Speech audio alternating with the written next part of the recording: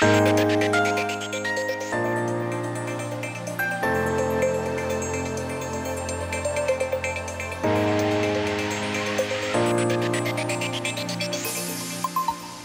وعن أحوال الطقس يتوقع خبراء هيئة الأرصاد الجوية أن يسود غدا السبت طقس حار على القاهرة الكبرى والوجه البحري والسواحل الشمالية ووسط سيناء شديد الحرارة على جنوب سيناء وجنوب البلاد نهارا معتدل ليلا على القاهرة الكبرى والوجه البحري وجنوب سيناء وجنوب البلاد.